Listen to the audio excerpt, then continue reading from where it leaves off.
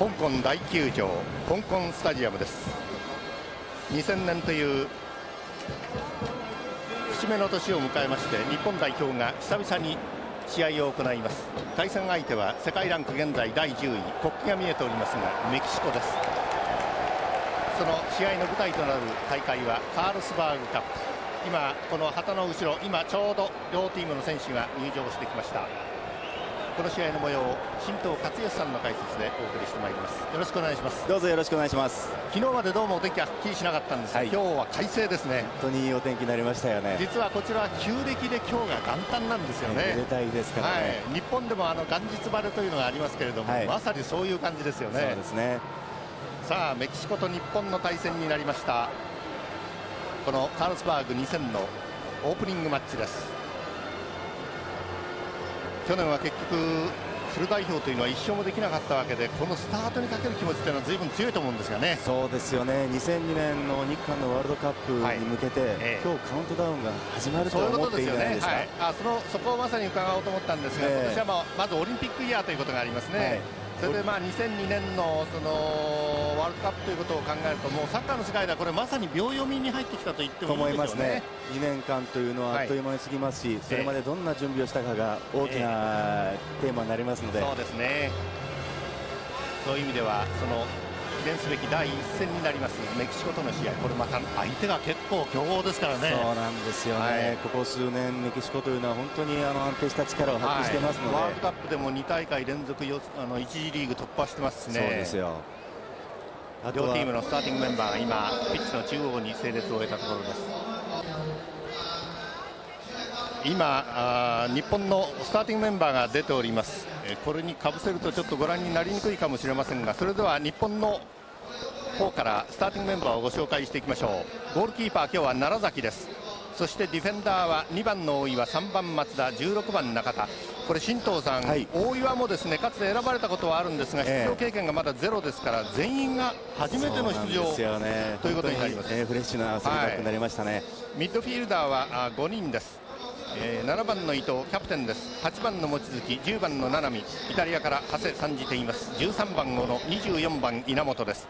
そしてフォワードは2トップ中山と平瀬というコンビできました。サブのメンバーですがゴールキーパー川口以下服部三浦知良1年8か月ぶり、はい、えー、ジャパンのユニフォームを着ました。そして同じくベテランの沢登平野奥中澤です一方メキシコのメンバーをご紹介していきましょう。今日のレフェリーはヒュー・ダラスさんスコットランドの方です。メキシコのこのメンバーですがゴールキーパーはペレスワールドカップ出場組です。ディフェンダー2番のスアレス147試合というキャップを持っています。ワールドカップ出場組そして3番アルマゲルベテランです。4番のマルケスワールドユース。14番メンデスワールドユース。ミッドフィールダーは5人ということになっています、え5番のトラドワールドユース7番のラミレスワールドカップ出場9番のロドリゲスワールドユース16番アレジャノ19番セペダそしてフォワードは1人という登録になっていますパレンシアワールドカップ出場です。ワールドカップ出場組が4人、はい、それからワールドユース出場組が4人ということになります。そうですね。あのうまくバランスをとって、はい、えー、チームを組んできましたよねもう一度それでは日本代表のメンバーをご紹介しておきましょう。ゴールキーパーは楢崎です。そしてディフェンダー3人大岩松田中田です。そして、えー、ミッドフィールダー伊藤がキャプテン。望月七海小野。そして稲本。稲本はフル代表初出場です。そしてフォワード9番の中山と平瀬。平瀬が初出場ということになります。日本代表のサブですがえー、ゴールキーパーの川口以下服部、三浦、沢登平野、奥、中澤です。さて先ほど申し上げたその節目の年2000年、えーまあ、日本代表久々の試合でいろいろ注目すべきところはあると思います、ええ、七海がイタリアから来てるカズが久々にジャパンのユニフォームを着た、えー、今日は中田が来ていないので小野が、まあ、司令塔役に多分なるんだろうと思うんですがえー、いろいろ注目すべき点はあると思うんですけど、はい、新藤さんはこの大会、まあ、2試合あるわけですけれども、えー、を通じてどういうところを注目していこうとお考えでしょうか？あのこの大会に参加している、はい、えー、ホスト国の香港以外のチーム、えー、メキシコ、それからチェコ、はい、これは本当に世界の中でも、えー、トップクラスに位置するチームですから、それを相手にですね今、3バックのことをしきりトルシェ監督またあのチャレンジしてるんですよね、えそれがうまく機能するかどうか、はい、考え方が浸透するかどうかというのをまず見ることが一つと、はい、それから攻撃に関してまだ多くはやってませんけれども、えこのメンバーでどんな形ができるのかはしっかりと見ていきたいなと思いますね。特にあの J ビレッジでの合宿でほとんど攻撃の練習をしていないというこのこの辺りはちょっと心配ですよね。その辺は不安なんですけれども、ただこの大会をきっかけにして、はい、えー、チームの攻撃の形を作るということができますから、えー、あそうですか。それは期待したいですけどね、はい、まあ、この後マカオでアジアカップの予選があるわけですよね、はい、えー、それを含めてが、まあ、日本の新しいチームのつまりベテラン組とオリンピック組がこうミックスされたいわば初めてのチームのようなものですからね。ね。はいで若い選手たち、今、本当に伸び盛り、ええ、例えば平瀬にしてもそうですよね、急激に伸びましたもんね、こういう選手たちがフル代表という名のもとで、自信を持って戦えるかどうかというのも、ねね、あの大事なんですよね。はい。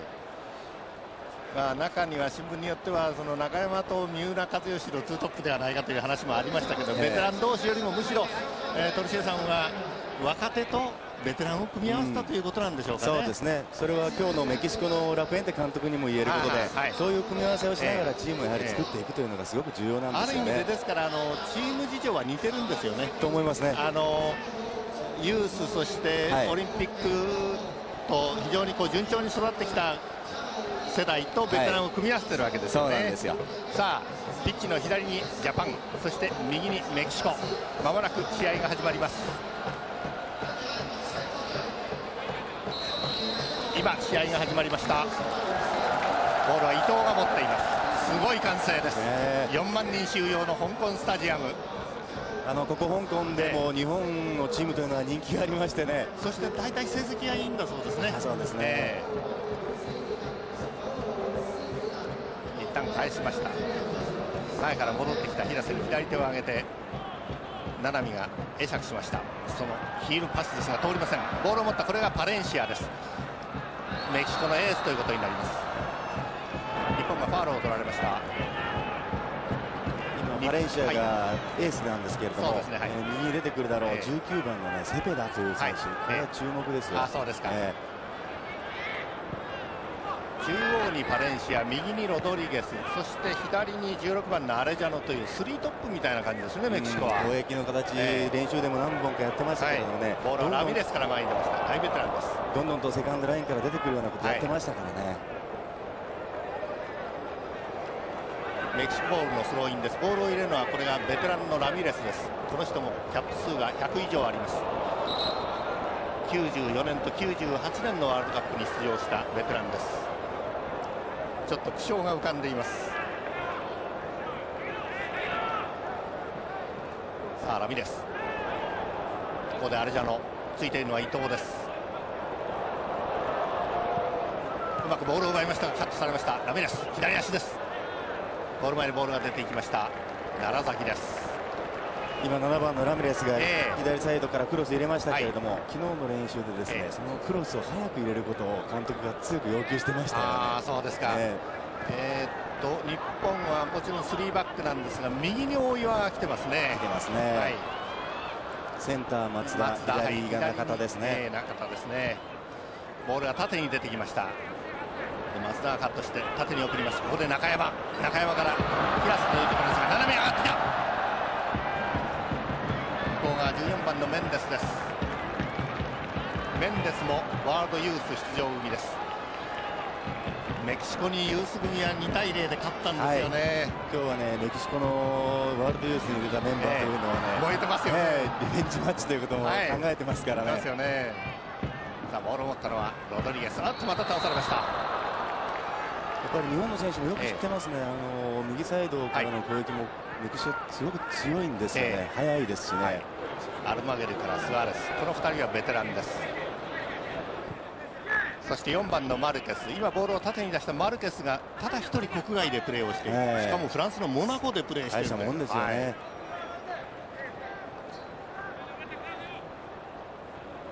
もともとあのメキシコではアトラスというチームでマルケスはプレーしていたそうですが非常に若手育成に定評のあるチームだそうですね。なるほど、はい、今回のメンバーの中にもアトラスの若いメンバーがだいぶ入っています。さあ右から。平瀬が上がっていく。中央に中山が入っている。一旦返しました。折り返しのタイミングを伺いますがこのボールがタッチ終わりました。まだ日本チームは攻撃になった時でも、ええ、あの様子を見てますけど、あそうですか。やっぱりそのスタートになるのは平瀬でしょうね。あそうですかまあ、なかなか鋭い得点感覚がありますよね。あとスペースへ走り込んでくるタイミングというのがすごくいいんですよ、あそうですか。さあ七海だ。七海は2月の3日にチームに合流しています。うまく裏にボールが出た。と中山が。ボールをコントロールできませんでした。さすがはあれスワレスですね。今ついていたのはね。リベロです。147というのは今あのキャップ数では世界第3位なんですよ、これはすごい数ですよね、はいあのメキシコのリポーター陣も胸を張って、えー、言ってましたか？3番目だと言ってました。パレンシア。パレンシアについているのは松田です。ボールが縦に送られたアルマゲール。アルマゲールが30歳というベテラン。さあ向こうに回ってこれはあのセペラなんですけどね、ね。はい、必ずディフェン、えー、日本のディフェンダーもチェックに行きますよね、あそうですか。まあ情報はそれなりに入ってるんでしょうね、えー、入ってるんでしょうね、はいメキシコの方は日本の情報はもう一つあの十分ではないということを言ってましたけれどもね。さあマルケスフランスのモナコでプレーしています。モナコは現在1部リーグの第1ダントツだそうですね。今10ポイントぐらいリードしてます。ベテランスアレス。スアレスは31歳です。縦にボールを出しました。稲本カット中山2人がかりのマーク日本の方は稲本、伊藤というところのダブルボランチですけどね、えー、あっと小野が突っ込んでいった。その辺も興味ありますね、はい、それと中盤ですけれどもあの望月が右に出てるんですね、えー、右に出てますね。そして伊藤と稲本のトゥーボランチということになりますかね。ね。ダブルボランチですねそして左に七海です。少し前に小野がいてツートップが平瀬と中山ということになります。あっとうまくかわされました。今のようにやはり平瀬の広い動きというのは、ねはい、有効ですよね。あそうですか。ボールを入れるのは望月です。ロングスロー。大きなクリアマルカス。これは日本が拾います松田が来ました。松田もしかしチームでもあまりその中央はやったことないわけで。そうでしょうね、えー、ただねディフェンダーとしての能力はねすごく高い選手なんですよ。そうするとすごくいい経験になりますねこれは。ありますね、えー、まあ、ここで安定した力を発揮してやってほしいんですけどね、はい、3バックみんなに言えるんですけれども、ねはい、今後にとっても大きいですよ。そうですね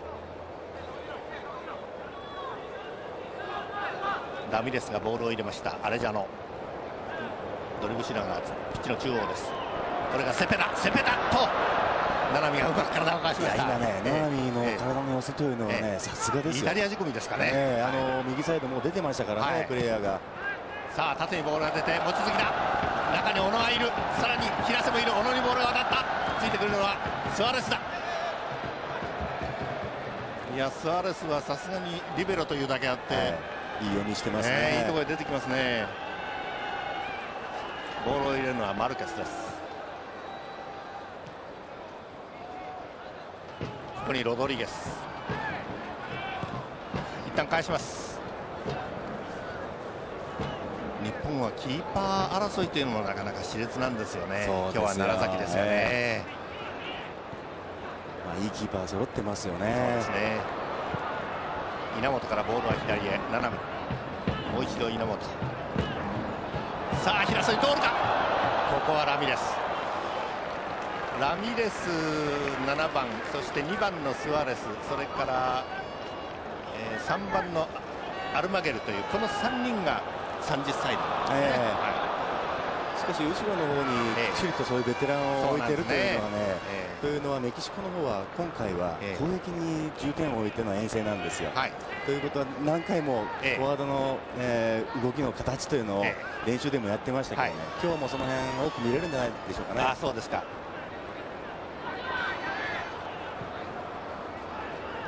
メキシコは右にセペダ中央にパレンシア左にアレジャノというスリートップですかね。そうですね。アレジャノ後ろの方にも少し下がりますけれども、ね、ただ出るときは早いですよ、はい、まあ、メキシコといえばあのファンの方はよくご存知のエルナンデス長髪、はい、それからブランコという、えー、まあ、2トップがね、えー、本来いるわけですけれども今回はブランコは何ですかリベルタドーレスの試合がまもなく始まるということで、えー、国に残っています。それからエルナンデスとカンポス、はい、有名なキーパーですね。この2人は、まあ、この後すぐにゴールドカップというやはり大きなトーナメントが向こうでありますので、その準備のために残っているというふうに聞いています。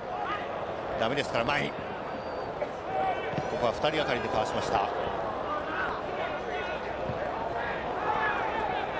中山がね今、必要に追い込んでいきましたけどね。というのは今のようなところでメキシコにボールを簡単にフリーで持たせると、スリーバックが機能しなくなるわけですよ。そういうところの判断がねやはりベテランですよね。まあ、このメンバーの中でもちろん30代は中山だけですしベテランと呼べるのも、まあ、あと七海が、まあ、ベテランといえばベテランそうですね、あとはもう本当にみんな若手ですからね。えーホイッスルあります。あっと七海へのボールがちょっと長すぎました。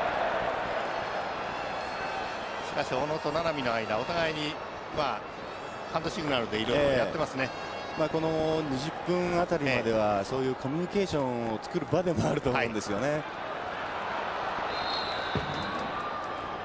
スタンドが沸いていますが今日あの球場前にもかなり日本のファンの方いらっしゃいました、られましたね、えー、ツアーも来てますしね、まあ、近いのは何よりですね。えー放送席の岩佐さん、はい、ここまで、はい、ここまでの日本ベンチから出ている声なんですが、はい、基本的にポジショニングに注意しなさいというこういう指示が多く飛んでいます。あそうですそれから平瀬のポジショニングですね。えー、この指示が一番多いですね。平瀬が行く、中央に中山入ってくる。二人がいのマーク、一旦返しました。七海ダイレクトで折り返していくと。ヘディングシュートはジャストミートしませんでした。平瀬がいい取りがつきましたけどね。えー、ねゴール前飛び込んでヘッドを合わせたのは望月。しかしキャストミートしませんでした。岩佐さん、はい、その平瀬なんですけれども、えー、一度小野よりも低い位置に下がった時があったんですよ、えー、その時にあまり下がるなと前に張っていろとこういう指示が出てましたね。オリンピック代表の試合で韓国から2点取ったのが広瀬には平瀬にはすごい自信になってるみたいですね。そうでしょうね、えーその後非常にまあ自分でも気持ちが積極的に前に向くようになったというふうに語ってますが、えー、あのー、オリンピック予選の中でも途中で交代で入ってきたシーンとかありますけれども、えーはい、本当に自信を持ってチームの流れを変えるための、えー、プレーをどんどんやってましたからね。あれオリンピックチームに入ったのも去年の5月ですよね。縦にボールが出て中山が走る。あ中山にも危機感はあるでしょう。ありますね、若手の追い上げ厳しいですからね、はい、ゴールキーパーはペレスです。これがラプエンテ監督です。マヌエル・ラプエンテ監督55歳。現在これ2度目の、えー、メキシコ代表チームの監督ということになります。一度90年代の初めに率いたことがあります。縦にボールが出て平瀬だ。平瀬が行く。ついているのはスアレスシュートはクロスバーの上を通過しました。今のような思い切りの良さが平瀬らしさだと思うんですよ、あの出だしてすぐにポンポンと点が取れたのがすごく良かったでしょうね、彼にとってはね。走り込んですぐに左足のシュート。ためらいがないですもんね、え平瀬智之183センチ22歳こちらマルケス。縦にボールが出てアレジャノ横にパレンシアがいてボールを要求していますがなかなか出せません。ロドリゲスからあっと手に当たりましたね。ボールを持っているアレジャノからゴール前へ。さあちらっと左を見た小野から平瀬ちょっと短かったか、まあ、今のね、えー、あの3番アルマゲル、えーが早く読んでたんですけれども、はい、右サイドを見ながら左へのパスというのが小野らしさですよね、あれやっぱり瞬間に見えてるんですね。もう把握はしてますからね。ボールは平瀬挽回します。ですからあのパスサーっていうのは瞬間的に周囲の状況が読めないといけないシュッ、えー、ボールはゴールラインを割りました。読むというよりは、えー、あの瞬間的に周りの状況を把握する力が必要なんですよね、頭に焼き付けるんでしょうかね、これはね、七海なんかはね、はい、今、強烈にそれを感じてるんじゃないですか、イタリアの速さとかですね、その辺含めてですけどね、はい、ゆっくりとヘディングに入りました大岩、拾ったのはパレンシア、パレンシア、日本3人で囲んだ、ファウルありません、稲本から縦に。高いボールが上がっています。なお日本とメキシコの A マッチというのは過去1試合しかありません。え日本協会のホームページによりますと1試合としか登録されておりませんので96年の5月キリンカップの1試合だけ3対2でこの時は日本が勝っています。左サイドアレジャノ一旦返します。ラミレス上がってきた。危険な左足を持っています。スペースへボールが出てきた。しかしここは望月体を張ってディフェンスです、えー、今は望月よく抑えましたけどね、えーですねラメラミネスも、はい、あの今のようなところでのスルーパスというのは、えー、い。いところで出しますよ。えーってくる望月。あれ合宿の時はほとんど彼終盤は別メニューでしたからね、ね、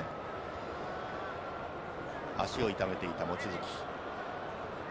ここで伊藤がちょっとピッチサイドに、えー、サイドラインのところに戻ってきます今日はキャプテンマークをつけている伊藤照吉楢崎のキック。岩佐さん、はい、伊藤は右の目尻から出血しています。そうですか。あそうするとこれ止めないと戻れないんでしょうね。後で確認チェックを受けてから外ないと入れませんからね。はいね。はい、トラードから前。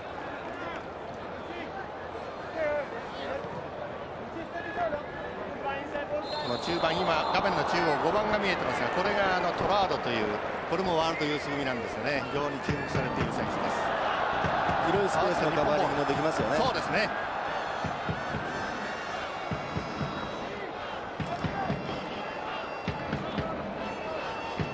シエ監督が少し前まで出て指示を与えています。ここでスアレスのクリア。稲本のヘディング。向こうが14番はメンデスのクリア。ラナビが上がってますね。えー、今のようなところで見せるということもきちっと覚えてますよね。ね。あっとここで足をすくわれました。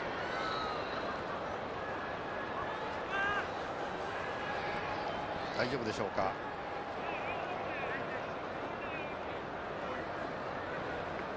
立ち上がりました。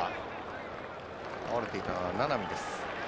七海はイタリアは今19節まで終わってるんですがそのうち16試合に出場してます、えー、8試合先発8試合途中出場、えー、18節に初ゴールを挙げたんですが何かバックパスのミスがあったり。してそうですね、えーまあ、七海はいい経験積んでると思うんですけれども、スパレッティ監督の考え方もありますしね、そうコンスタントに出れるという状況は難しいと思うんですけれども。私はあのライという向こうの放送局の採点を見てるんですが6.5というのが最高で、まあ、最低は5というのもあります。ただってほぼレギュラーで出るっていうことが大変なことだと思うんですよね。それと6、6.5というのをコンスタントに出せるというのもすごいですからね。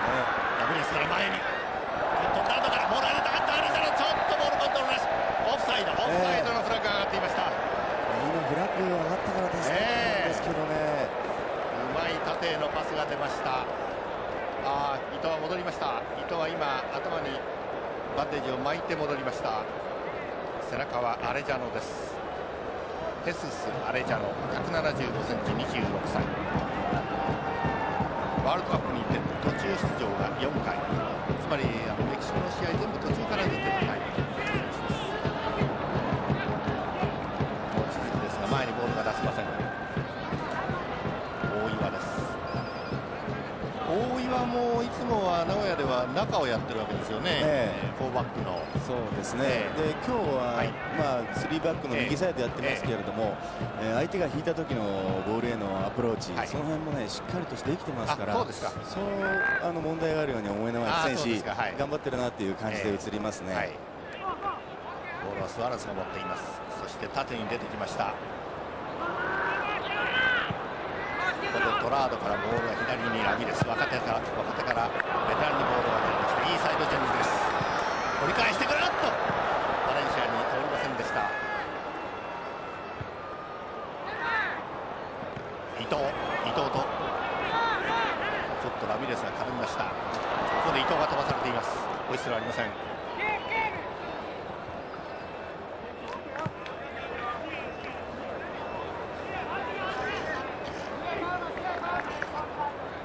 置いていけ置いていけと平瀬に声をかけた望月がボールを入れに来ました。ペナルティーエリアの中に今小野と中山が入っています。小野が出てきました。ヒールでゴールの中へ。中山が飛び込んでいました。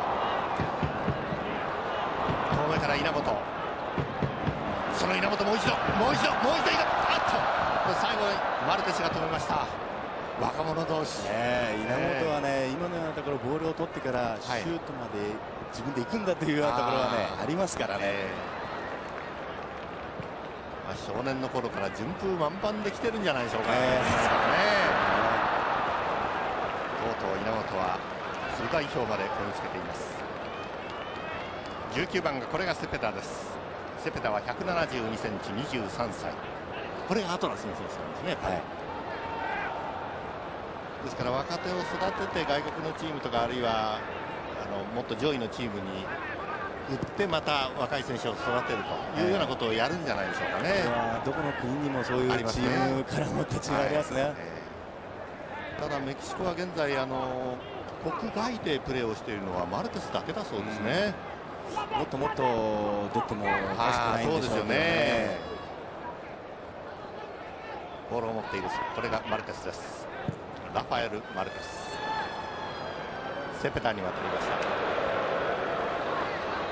珍しいですね今のそうですね、はい、ちょっと気象が浮かんでいます現在のところ入場者数は2万5000人です4万人収容のこの香港スタジアムさあ中山が走りますがここはマルケスとの争いです日本ボールです。あいいところでフリーキック取りました、はい、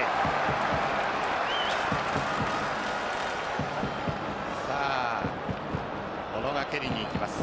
20分経過しました。このセットプレーの後ここまでの両チームの出来を伺おうと思いますが、はい、さあペナルティーエリアの中に日本が4人入っています。稲本平瀬中山そして2番の大岩が入ってきています。七海がついていますがボールを蹴るのは小野です。とスアレスのヘッドのクリアです。今スアレスよく本当ですよね。ピタリでしたけどね、えー、さあベテランです。さあ縦にボールが出る。オフサイドありませんがしかしキーパー出てきました。ペレスです。まあ、カンポスがこのメキシコのキーパーでは有名ですが、えー、そのカンポスの位置を脅かす存在になりつつあるペレスはい、もう一人あのマルティネスというキーパーが入ってるんですが、これが、えー、新しいカンポスと言われてるらしいですね。注目株ですか。ら、え。ー、まあ、ラプエンテ監督も、えー、カンポス、エルナンデス、ブランコの後をね、えー、今一生懸命探してるって言ってますね。えー、とオフサイドです今のはどうでしょう出てたでしょうか。私の目にはセーフのようにも見えましたが。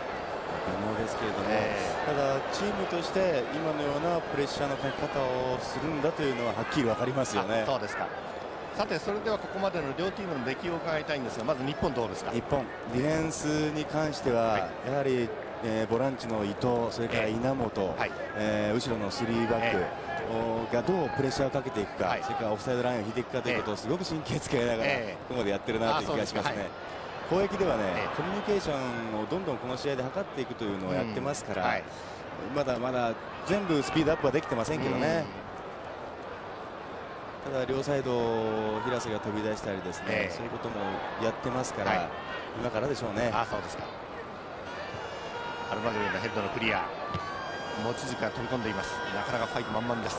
小野小野。そして七海平瀬。ゴール正面に中山が入っています。そして望月も入ってきています。一旦返しました。ここは永田浩二。松田から縦伊藤へのボールが通りません。これは危ないボールが左に上がってきた。ラミレスに渡っておっと！ちょっとボールが離れすぎました。これはラミレスが後ろから押しました。一方メキシコはどうですか？メキシコの方はですね、はい、ディフェンスにベテランを置いてるだけあって、えー、絶対慌てませんよね。あそうですか。何度か日本がスペース両サイド出てきますけれども、えー、その時でも中でしっかりとカバーニングしてますので、はい、ったら攻撃でどんどんとセペダ、アレジャノそれからラミレスからのスルーパス、この辺を出してますからね。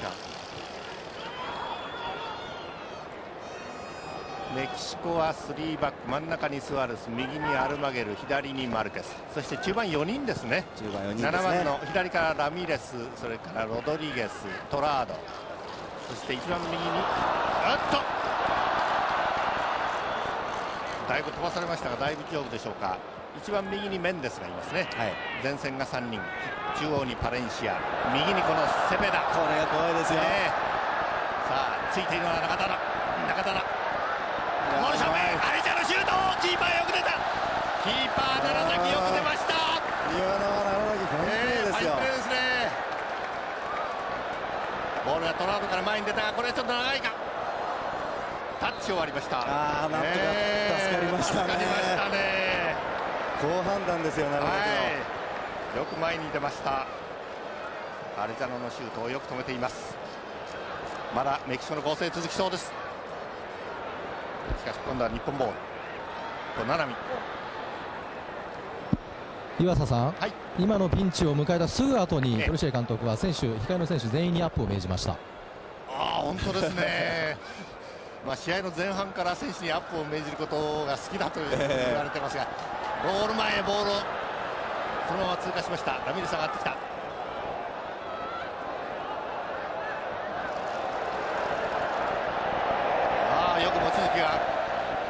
しました。ここはラミレスのファウルです。なお今日はですね、えー、あのベンチに7人入って5人まで交代が認められる。とこれはトルシエ監督の要求が通った形になってますね、ね、はい、まあ、メキシコの方の監督も5人交代させてもらえるんなら、ね。はい、いいテストケースになると踏んでるんじゃないですかね。望月の右サイドでのディフェンスがちょっと光ってますね。そうですよね。こう今日はここまでずいぶんよく頑張ってます。長いボールです。こはマルケスのヘディング。胸で松田が大岩に渡しました。大岩。これカットされました。伊藤。ちょっと稲本ボールコントロール失敗。トラード。また日本ボールです。さあこれはオフサイドありません。中山は右サイド走る。そして左サイドから中央に平瀬が入ってくる。あっとスライディングタックル。マルケス。さすがですよ、えーマルケスは。今のも蹴る瞬間に体を寄せてきたわけですからね。はい、ね。さあ右からのこれはスローインになるでしょうか。コーナーキックでしょうかね。思いますけどね。ロシア監督また前に出ての指示になっています。コーナーキックです。短く蹴りました。望月が来ました。そして左足で中へ。ボールをカットされましたです。前にパレンシアがいる。右からセペダも上がってくるメキシコ。あっとパレンシアが左から上がった。ロドリゲスを刺しました。右から上がってくるセペダ。いっぱいでボールを生かした。左足の折り返し。体を張った中田浩二。ディフェンス頑張ってます。あっとしかしボールを奪った。セペダ。ここは2人なかなかやりますね、強いですよね。強いしうまいですし、ね、はいしかしね要注意なのはメキシコがゆっくりとボールを回している時と、はい、今度は縦にボールを入れてスピードアップする時をはっきり分かれてるんですよね、そうですか。ペースが急に変わってきますから、えー、そういうところ注意ですよ。ラミレス中山のディフェンス。これはさすがにファウルを取られましたがなかなかいいディフェンスです。スコットランド人のレフェリーダラスさんから一言口頭で注意を受けました中山。ボールをプレーしたラミレス左足からなかなか癖のあるボールを蹴ります。今ベンチを見ているラミレス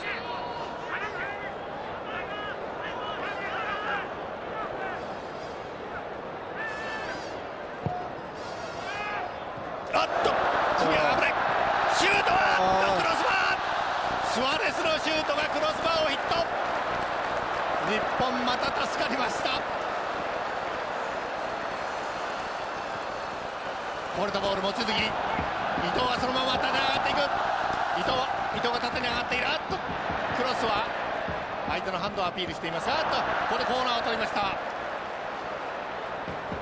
いや今のもヒヤッとしました、右から上がってきたスワレスでしたよ今シュートはきっと打ちましたからね、えー、ラミレスですね。クリアミス。ここでスワレスのシュート。今この模様が場内の掲示板に出ておりました。試合開始の時の気温が19度湿度71%です。右からのコーナーキック。さあ七海がどういうボールを切りますか。先ほどはショートコーナーでした。直接行った方がいいですよ。そうですね。ゴール正面キーパーパンチング望月頑張っている。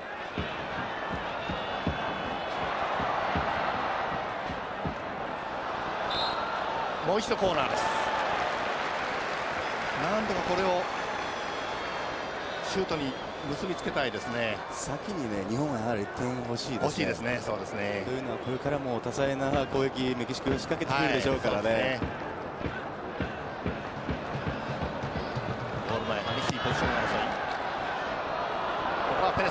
ました。ファーポストを狙ったボールですが。あっとこれは後ろから。のファウルです。素早いリスタート。いやこれは待ちなさいということでやり直しです。今フリーキックのポイント違いましたけれども、ええ、今のような卒のなさというのは、ね、えそうですよねチーム持ってますからね。ね。中南米のチームはそのあたり非常に警戒が必要です。ボールを持ったのはベテランのラミレス。そしてマルケス。もう一度ラミレス前にアレジャノがいます。しかし中へ入ってきたパレンシア。おっとこの辺り呼吸が合っていません。メキシコボールです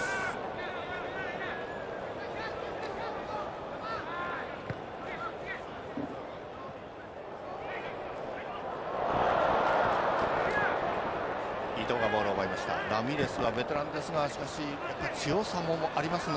ラミレスはね、ええ、全体の状況判断というのが素晴らしいですからね、はい、やっぱり彼がボールを持っている時怖いですよね、え、そうですね。前半30分を経過しました。両チームノースコアです。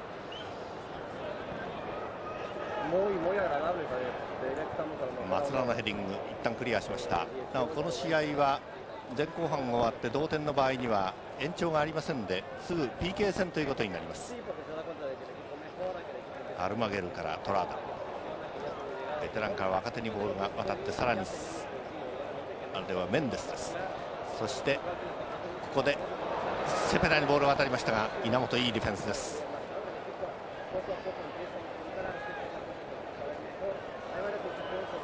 ボールを持ったロドリゲス。こういうところでのボールを回すというのはね、えー、お手の物ですよね、えー、ロドリゲススルーしました。この辺りがなかなかくそもの。アレジャノアレジャノのクロス。これはうまくボールが足に引っかかりませんでした。中山頑張っていますが腹心の旗を飛ばされました。プレーオンです。スアレスからロドリゲス。そしてラミレス。一旦返します。押すところ引くところ。この辺りの心得も十分です。ラミレス。ボールはもう一人のベテランスアレススアレスとラミレスそれからカンポスとこの3人がメキシコではキャップ数が100を超えてるんですね。素晴らしいですね、えー、その3人がまだ依然として健在です。ただラプエンテ監督にしてみると2002年にエルナンデスとかブランコがまだやれるとは思わない、えー、だからまあ今回は置いてきたんだという言い方もしてますけどね、ね、次を育てるための一歩にしてますよね、はいえ。ー、ボールを追ってスアレスが帰ってきましたがペレスに任せました。メキシコのチームは、えー、昨日練習ちょっと見たんですけれども、ラプエンテ監督がサイドからのクロス、ええ、あるいは中でボールを持って外へも1回開くというようなこともやってましたよね、はい、それ忠実に今日やってますよね。ね。ボールを持ったのは望月後ろからアレジャーノこれはファウルです。そういえば新藤さんは今は日本とメキシコの試合ですがこの後、はい、えー、地元の香港リーグの選抜チームとそれからチェコがやるんですが、えー、チェコは今年私どもワウワウが独占放送するユーロ2000に、まあ、出てくるチームですよね、ね。ちょっとまあ今回は若手主体のメンバーですがきっと6月のピッチに立つ選手も何人かは出てくると思うんですね、ね。はい、そういう意味ではちょっと目が離せシュート。七海左足を飛ばしてのシュートでした。そういう意味ではチェコも非常に注目すべきチームですよね。まあ、チェコはユーロの予選でですね、はい、10戦全勝ですからね。なかなかないことですよ、えー、10試合で5失点ですからね、えー、ここで日本にファールがありました。またこのユーロ2000の放送は楽しみにお待ちいただきたいと思います。今年はオランダとベルギーが舞台になるわけですがね、はい、アレジャーノ1人頑張りましたが日本ボールを奪ったマルカスボールを拾って右サイドスペースにボールを出していきましたがちょっと意図と違ったボールになってしまったようです。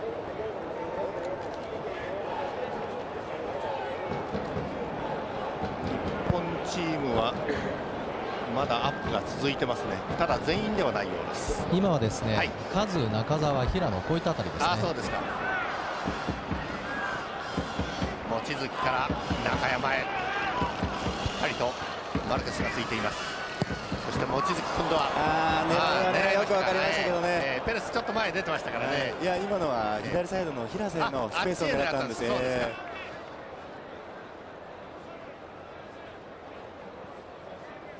スアレスが一旦左のマルケスにボールを預けました。長身です。180センチ。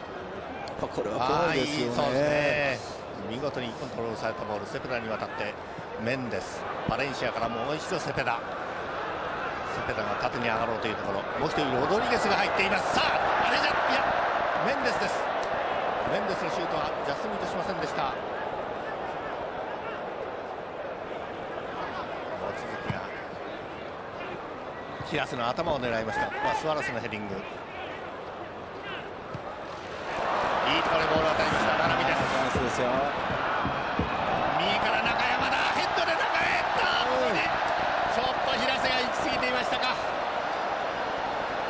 1人小野も入ってきていました。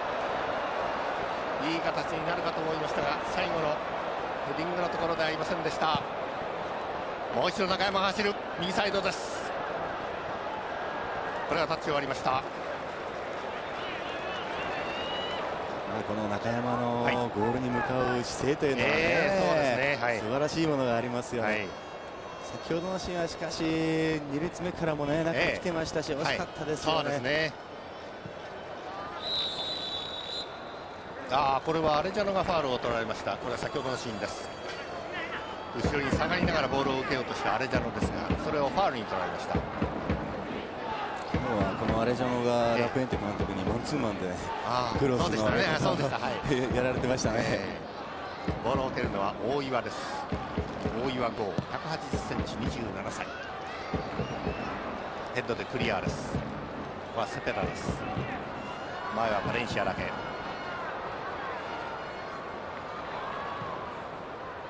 中田から前の平瀬これは通りませんでした。今回のチームの中にはオリンピック代表組が8人日本は入ってるわけですよね、えー、この選手がどういうふうにこのフル代表としての実績あるいは経験を積んでいくかというのもこれからまあ2002年に向けての大きな日本は課題ですよね。そうなんですよね、オリンピックチームとしては素晴らしい成績を残してますけどね、はい、今度はフル代表になってくると、えー、これまたレベルが違うわけですからね。アレジャノがドリブルでずっとボールを持って上がっていった。あっとこれはナナミファウルを取られました。いや取られませんでしたね、ええ、今レフェリーも流しましたけれども、ね。はい、ただ後でナナミがね、ええ、あのー、左サイドでちょっと心配ですよね。あそうですか、えどうしてもそのままボールとともにね、あのタックルきますからね。相手もね、はい、相手も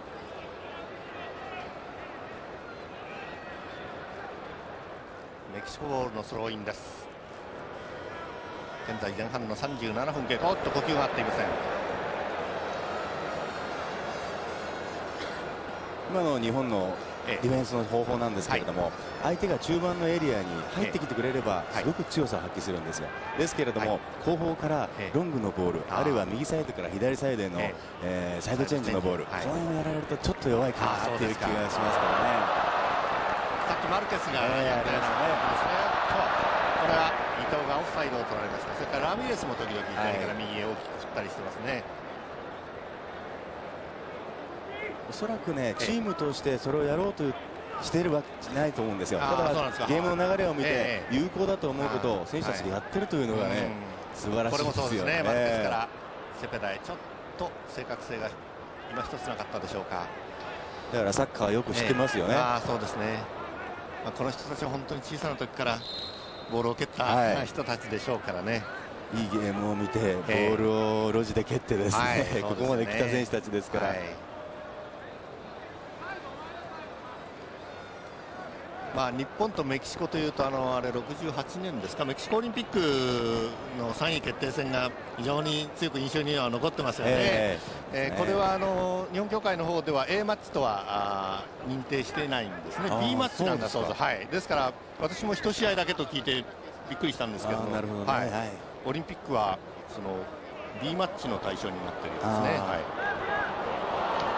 2人に囲まれましたかし頑張っています。望月。望月は今日はもうここまで十分に9大点ですね。ますね。稲本。七海。小野。あの辺りから癖のあるボールを出すのが小野の一つの持ち味でしょうが相手も寄せてきますね、え。あまりゆっくりはさせてもらえません。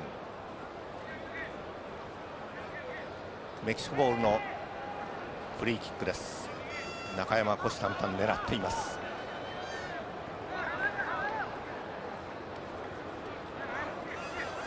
このマルケスもなかなかしかしもうモナコでほぼレギュラーだそうですけど分かりますね。昨日もその話を岩さんから聞いて、えーはい、大したもんだと思いますよね。そのメキシコにいた時にいたアトラスというチームにいた時も17歳ぐらいでほぼレギュラーだったそうですからね。中山こはスアレス。いち早くボールのところに来ました。縦へのボール望月カット。そして稲本。伊藤。ここで七海。七海が少し中に入っています。そして平瀬が左に出てきています。ボールは中田に渡りました。平瀬が縦へ走る。その平瀬へのボール。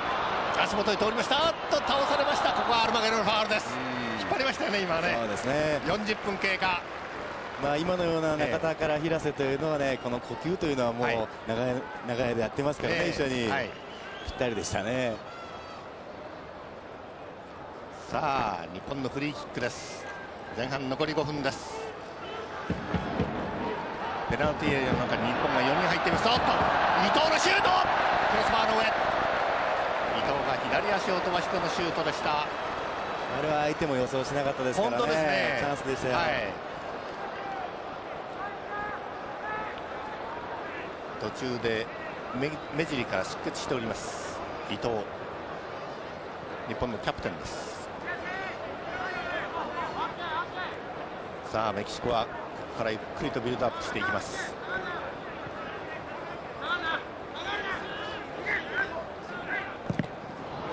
中山体を張りました。ボールはペレスのところに戻りました。あのカンポスという選手はあの暇な時というのもないですが フォワードに入ったりすることもあるそうで、ね、はい、あの前に出ることも好きな人であのさっき見たようにしたらブラあのメキシコのフリーキックの時にペレスもかなり自陣の半分以上前まで来てましたね、えー、何かあればという虎視眈々という感じがありました。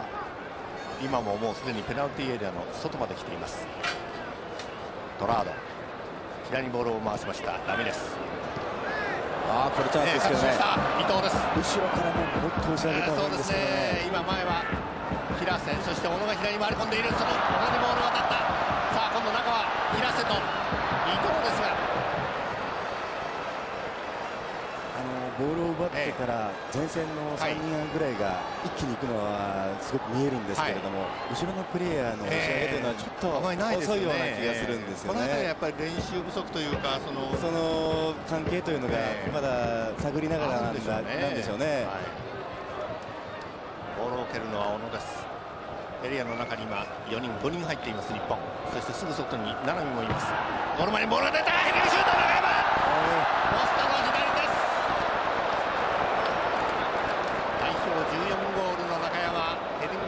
ポストの左を通過。しかしなかなかいいボールでしたね。ね。もう小野が蹴るときも七海が蹴るときも、はい、これですね、ね、ものすごくいいボール蹴りますからね、え相手ディフェンダーあれスアレスの前で中山勝負しました、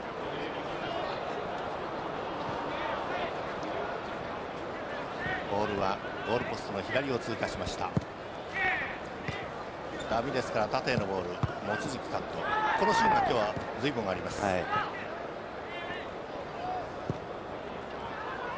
メキシコ最前線中央はパレンシアです。縦へのボールここはアルマゲルカットです。あのワールドカップの頃にはエルナンデス、ブランコがツートップ気味そしてそのトップ下にパレンシアが入っていたという図式なんですけどもね。現在そのツートップが来ておりませんので彼がセンターフォワードを壊していますクリアがそのままパスになっています。セペダ一旦返します。ワトラード。そしてメンデスから縦に。さあ中央突破。バレンシアが点を仰いでいました。いや最終的にはね、あのパスはつながりませんでしたけれども、狙いどころというのはすごくシビアですよね。小野です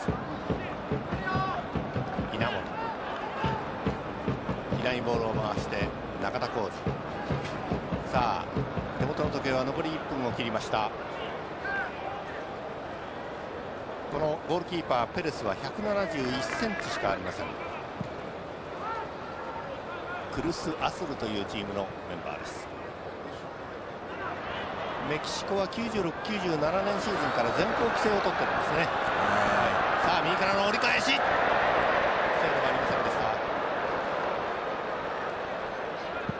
でもうすでに前期は終わりましてあのパチカという何か2部落ち有力とされていたチームが優勝したそうです かもうすでに、えー、後期つまり、えー、夏季リーグがスタートしていますつまりメキシコの選手たちはもうシーズンの真っ最中ここに来ているということになりますね。ということは体調も万全ですね。ねはい、あちらも今気温はだいたい20度ぐらいだそうです。前半は結局ロスタイムがほとんどありませんでした。前半終了両チームノースコアで終了しています。変わってないですね、平瀬もいますね、えー、ですから中山もいますね、はい、七海が一番最後に入ってきます。望月もいますし結局そのままで来たようです、えー、そうですね。うわすごいなこれ。日本からの、えー、おそらくツアー組なんでしょうけれども応援です。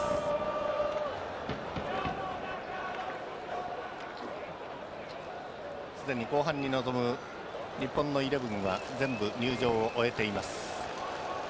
さあ後半ですけれども、見どころというか、まあ、選手交代は一つの見どころにはなろうかと思うんですけど、えー、えー、それを含めてどうですか？選手交代はまあ数もいますしね、えー、それから奥、平野、ええ。ー、中盤でベテラン、沢登もいますし、はいすね、これやっぱりどう変えてくるかというのは見どころですけれども、うん。はい、今のままでえー、狙いとすれば、はい、やはり右サイド、望月あたりもどんどんと攻撃に、ね、かかった時に行くということは大事だと思うんですよね。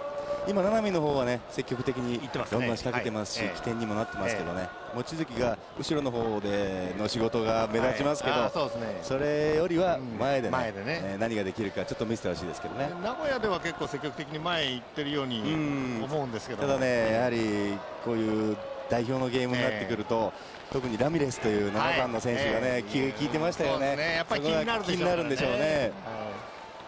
望月の動きでラミレスの動きを封じるというようなことができればいいんですけどね。さあメキシコも入ってきました。ちょっと前半と違う印象の選手もいますから多分選手の交代があるんではないでしょうか。6番の選手が見えています、えー、6番の選手が見えています。これがイエロですね、はい、イエロが入るようです。18番のカルモナもいましたね。カルモナもいますね。登録はディフェンダーになっています。イエロもディフェンダーです。パレンシアは残っています。ダラス出身の笛が鳴りました選手がポジションにつきますえー、メンバーの交代をまた後ほどご紹介していきます。スアーレスそれからセペダはそのままですね、えー、10番モラも入ってますからね。そうですね。モラも入りましたね。モラは中盤の選手です。あスアレスあスアレスは入ってますがあアルマゲルもそのまま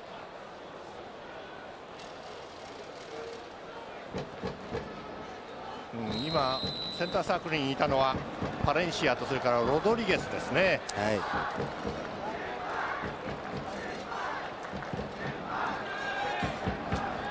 オフサイドの笛はありません。しきりに大岩がアピールしていますが笛はありませんでした。日本は結局交代はないようです。メキシコの方はスアレスが随分と前の方に来てます。あそうですね、はい、さあこのボール中山追いつくかこうアルマゲルのスライディングタックル。この3番のアルマゲルというのがベテランなんですがキャップ数はそれほど多くありません。しかしラプエンテ監督の評価は非常に高いというふうに聞いています。七海から小野ヒールパス。七海伊藤が右から上がっていましたが七海シュート。伊藤の前にボールがこぼれた。とコントロールってもらったシュートはジャストミートしません。いや今そのタイミングで打てそうでしたけどねしかし伊藤もね、ああいうところの感覚は素晴らしいですよね。ね。スルスルっと上がっていってボールこぼれましたけどね。岩佐さん、はい、ハーフタイム、日本のあの指示については詳しく聞けなかったんですけれども、はい、あのミーティングの雰囲気なんですが、ええ、もう一度気持ちを入れ替えるようなそんな雰囲気でチーム一丸となってまた戦えるようないい雰囲気だったと。特に怒り声が飛んでたとかそういうないみたいですね。一番気になるところですよね、それは。ピッチ上の田中アナウンサーからの報告でした。バレンシアから右にここにセペダ旦返しました。18番この人がカルモナです。この人は24歳。ワールドカップに行っています。さあ左サイドから今上がっていったのがイエローではないでしょうか。あっとボールがゴールライン割りました。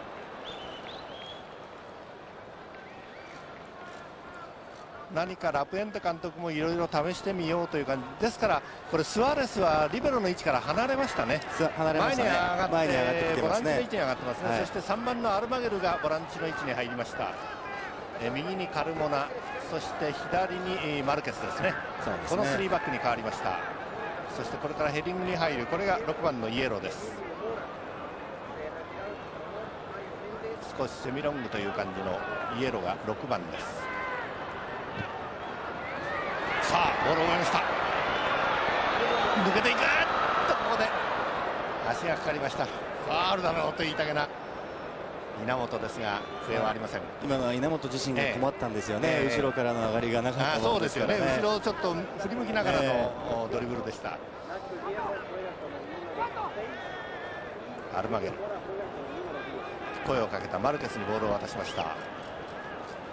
岩佐さん、はい、日本ベンチなんですけれどもね、えー、あの後半に向けて声がよくベンチから届くように、ベンチそのものを、まあ、下が滑車式で動くようになってるんですけれども、それを前に押し出しました。なるほど。あそうですね、はい、えー、メキシコより少し1メートル半ぐらい前に出てます。あらゆる面でここのスタジアムの設備というのはね、えーはい、いいですよね。そうですね。えー、この放送席も、えーまあ言ってみれば私事になるわけですが随分ピッチに近くてですね、はい、しかもあの陸上のトラックもないわけで非常にいいですよね。見やすいですよね、はい、で客席の75%がこのテフロンのテスファイバーで覆われてるわけですよね、はい、雰囲気はちょっとあの広島の球場にちょっと似てますよね感じがね。ね。カルモナセペダ。そしてロドリゲスもう一度セペダ。パレンシアボールがきれいに回っていきましたが最後ロドリゲスとの敵がもう一つでした。今のも3本ぐらい回してきましたけれども、すごくスムーズに攻撃の形というのをね、えー、作り始めてるメキシコという印象がありますね、はい。はい、後半から入ったイエローです。180センチ21歳です。イグナッシオイエロ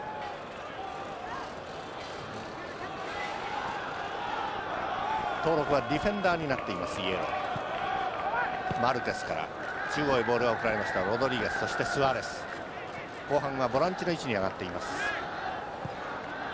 ですからやっぱり彼らも1つではなくて2つ以上のポジションがやれるということになる、そういうことですね。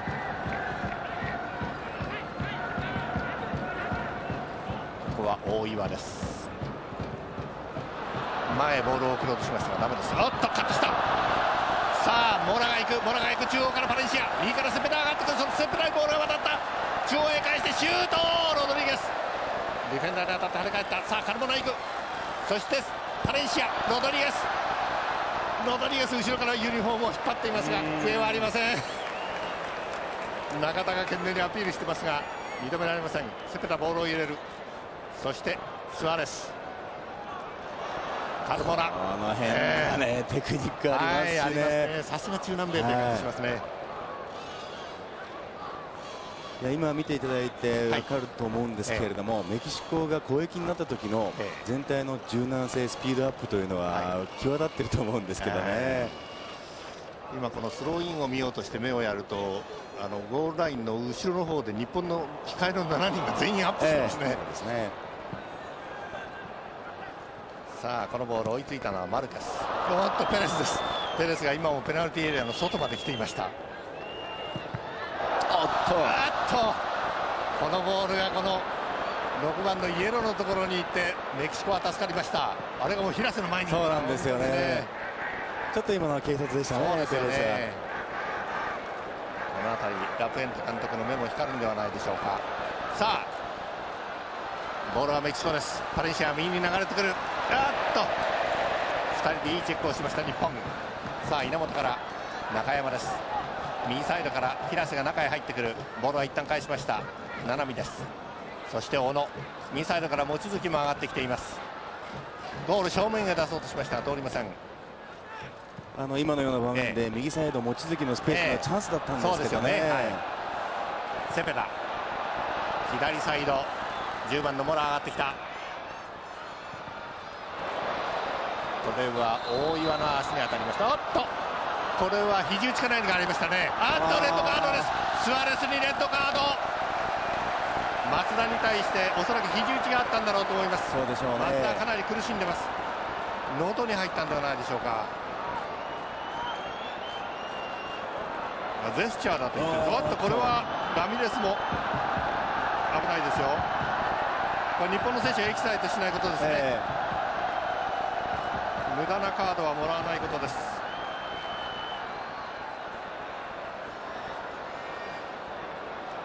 ままず松田の安全を確認したいところです。おそらく喉に肘が入ったんではないでしょうか。ベテランスアレス、まあ、前半は守りの方でねさすがというところずいぶん見せていたんですがメキシコのキャプテン一発レッドカードです。映っているのはこれはパレンシアえパレンシアにレッドカードですパレンシアでしょうね。パレンシアですえー、パレンシアがニアポストへ入っていくときにそこに松田がついていってですね。それは失礼しました。この場面ちょっと影になってますね。あスアレスが今キーパーの前にいますね。あここで喉の辺りを押さえて松田が倒れます。レフェリーの目の前ですからね。そうですよね。メキシコのエースパレンシア一発レッドカードで退場です。松田は立ち上がりました。退場するパレンシアに日本のサポーターを中心にブーイングが浴びせられています。さあボールはメキシコでコーナーキックに変わります。ボールを蹴るのはロドリゲスです。1人人数が減りました。後半の8分です。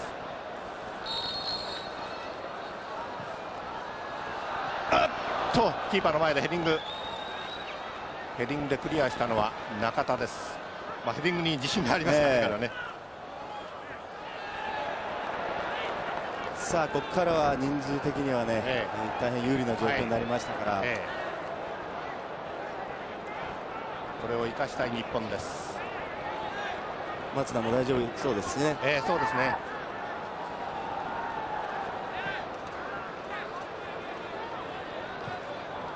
稲本がボールを右に回しました望月です。小野が寄ってきましたが小野がスルーして中山へ通りません。ラミレスそしてスアレス。ボールは後半からリベロになりましたアルマゲル。マルケスから向こう側6番のイエロー。日本は攻撃の形というのはそれぞれのアイデアでね、やってるんですけれども、ちょっと統一性がないですよね、スピードもそうですしね。さあ中へ入ってくる、徐々に入ってくる、そしてロドリゲスが来て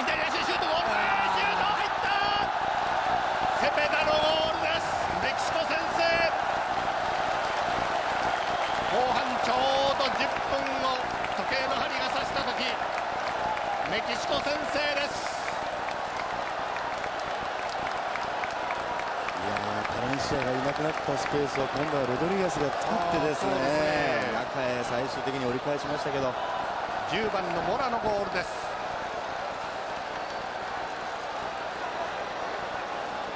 長崎がやられました。これがモラですよね。そうです。ここへ走り込んできたのが、ね。えー、ロドリゲスです。そしてここでゴールはセペラですよやっぱりね。あそうですね。セペラです。メンバーチェンジです9番のロドリゲスに代わって11番が入ってきましたオルソノです。オソルノです。失礼。ゴールゲットは19番のセペラです。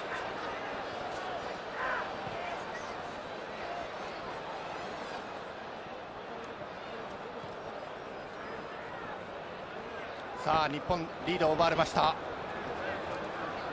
ここはもう攻めるしかないですね。そうなんですよね。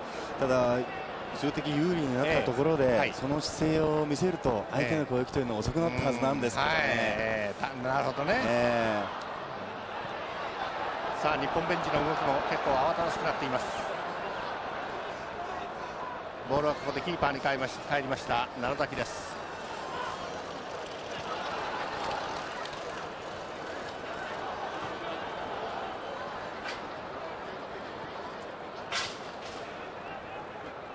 結局前半のメンバーからメキシコはトラドとメンデスがアウトになっていたようです。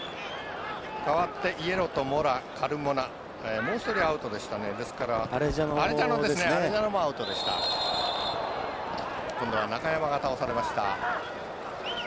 後半8分からメキシコは10人でプレーしています。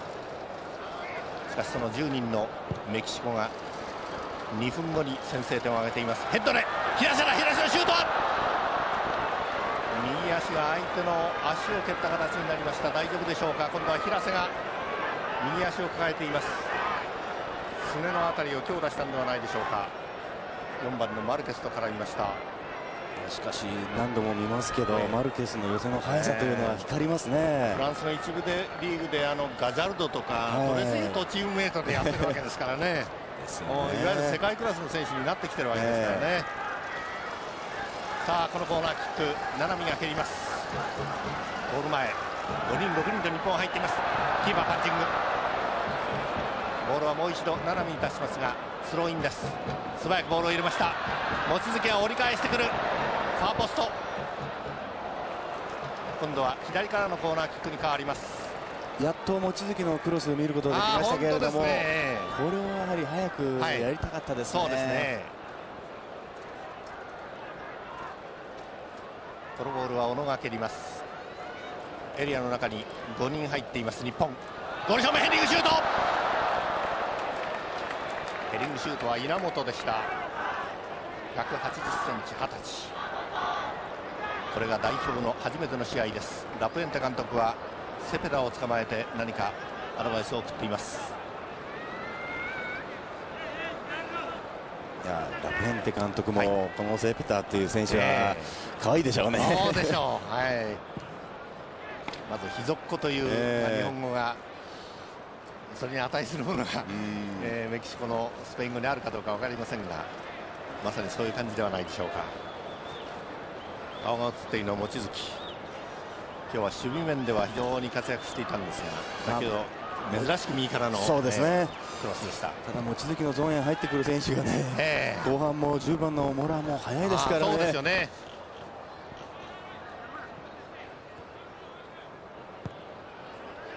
そして右サイドにはセペダがいるんでこの七海もちょっと上がりにくいんでしょうか、えーただ、七海の場合は、後ろに任せてしまうということが今できてるんですよ。そうなんですか。は望月はどうしても気を使ってますからね。えー、ボールは稲本に渡りました。後半まもなく15分経過します。残り30分。時間はまだたっぷりありますが、日本リードを許しています。大岩です。6番のイエロー。ボールが流れて中山うまいスルーだがちょっと伊藤と呼吸が合いませんでしたかスアレスが前に送るカットしたのは中田七海がボールを流れに任せて前に出ました七海そして稲本するちょっと小野が騙されてしまいました、えー、ボールはもう一度七海。ゴール正面に中山と平瀬。うまく相手を返した。七海。あっとうまいキックを見せた、うん、中米の選手は相手に、南米スタイルの。アイデアはね、はい、ありますけどね。さあモラが行くモラが行くモラが行く左足シュート左を通過しました。いやね本当、えー、若い選手が多いメキシコですけれども、えー、切り替えた時ゴールへ向かうスピードというのは素晴らしいですよ、えー、ですからラプエンテ監督がそのワールドカップのツートップがいなくても決して去年このこの大会で優勝したチームと見劣りしないんだと言ってるのは分かりますよね。はい、ですね。それと昨日岩さんと一緒にメキシコの練習を見ましたけれども、練習の中ではこういうスピードアップの瞬間というのは見せないんですよ。ですよね。で昨日も話しましたよね、えー、明日になると変わるんだろうなということを2人で話し合いましたけれども、はい、まさに、えー、違うチームになってきましたよ。本番に強いというんですかね、はい、ボール持ったのはスワレス。そして先制点のセペダ。このボールをカットしたのは伊藤。そして望月。前に平瀬がいる。あっとスペースに走り込んでいったのは伊藤だ。ヒールパス望月。望月クロスして中に入ってい。くここはイエローのディフェンスボールキックです。いや今のようなプレーをね、えー、どんどんやったらいいですよ望月。はい。言ったらこれが駆け引きになるんですけどね。ああ、そうなんでしょうね。もしこれを望月が早いタイミングで出していれば、はい、メキシコの方はそこのゾーンを埋めることに神経使うわけですからね、えーはい。まあ、ですからつくづくその伝え聞く J ビレッジでの、はい、そのオフェンスの練習をあまりやらなかったということのツケが何か今来てるような気がしなくもないですね。それをトルシエ監督がどういうスパンで、えー、考えてるかわからないんですけれども、まあ、きっと計算はあったんだろうと思うんですね。何がしかの。と思いますね、えー、ですからこの大会以降のことも考えてということはありますけれども、ただ3バックばっかりというのはねちょっと心配でありますよね、ね、実際にこうやって試合をやるわけですからね、えーこれはカットできませんでした七海。しかし七海のプレーはなかなか切れている感じです。まあ監督の立場も辛いものはありますよね。ある程度の長い目で見ることも必要だし結果も出さなければいけないということで、はい、そうですね、しかし内容的には我々も見ることができますからね、はい、今、何をトライしようとしてるっていう、えー、攻撃に関しては、もう少しこういう大会に出てくるときには、うまくやっておかないと、2年という時間はすぐ経ちますからね。本当ですよね。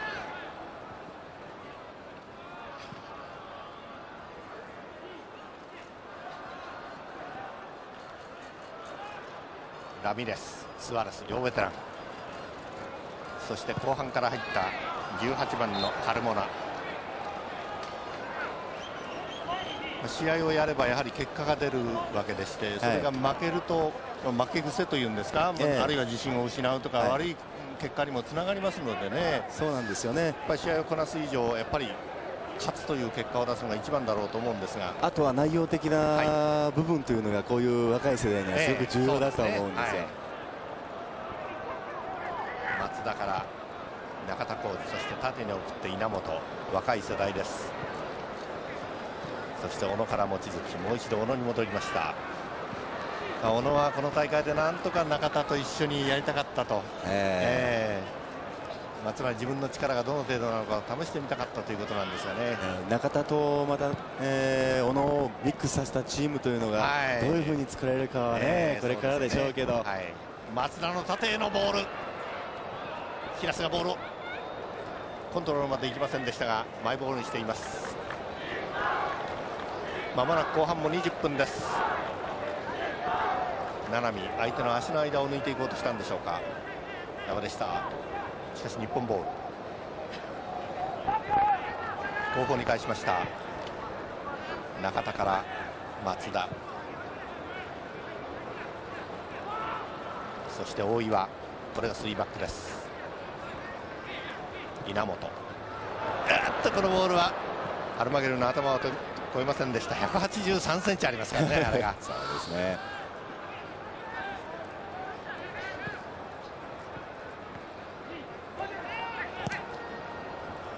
サイドチェンジのボールちょっとディフェンダーをかすったかもしれません。望月から中山。中央に稲本。その稲本の頭の上をボールが通過しました。今少しずつ3バックの右サイドの大岩それから左の中田この辺が前へのフィードということをすごく意識し始めてるんですけどね。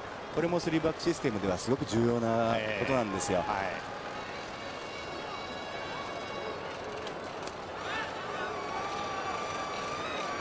映っているのは大岩です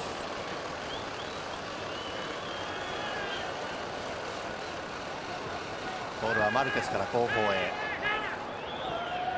まだマルケスは二十歳で、えー、2月の13日まもなく21歳になるんですが何か風格すらありますね。ありますよね、えー、まあ、これは今イタリア行ってる中田にも言えることですけれども、えー、やっぱりそういう環境でやることで、全体にみなぎるものが違ってくるのかもしれませんね。七海もそうですよね、今日見ると、そういうものは今、身につけてきてますよね。このボールはキーパーが来ました。楢崎。前半いい飛び出しでいいセーブを見せたんですが後半の10分に先制ゴールを許しています。さあ平瀬が行く。ここはアルマゲルが来ました。平瀬平瀬。ループシュートあっと！ネットの上です。味のあるシュートを打ちました、はい、右から中山も来ていましたが。岩佐さん、はい、えー、日本ベンチ山本コーチの声なんですけれども、はい、パスをしっかり回していけと。そうしたら必ず1人余ってくるんだという声が盛んに飛んでいますね。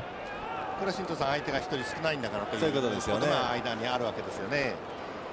ただねメキシコのプレッシャーのかけ方というのが、はい、えー、すごくうまいんですよね、うん、後ろでは回せるけれども、はい、入ったら全部速いタイムで寄せていくということをやってますから、思った以上に人数が多いと感じてないのかもしれませんね。